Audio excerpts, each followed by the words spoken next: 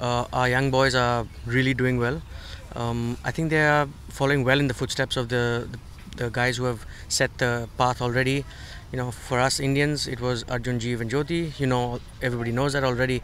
Uh, but we wanted to see what, who would come along next, and I think Anirban has done us proud. Gaganjit has done us proud. Um, we have got a good uh, fighting chance in Rashid. So all these young boys are still there, um, and, and there are more to come. Uh, the, there are about three, four other youngsters who are just stepping onto the Asian tour. Uh, they still to make their names. Uh, let's see what they do. Khalin Joshi. Khalin is a, is a good friend of mine, and uh, he hits it far. He hits it good. He puts well.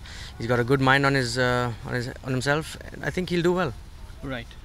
Uh, also, you know, I think uh, this whole, uh, you know, there's there's also a big move towards co-sanctioned events, uh, you know, between Asia and Europe.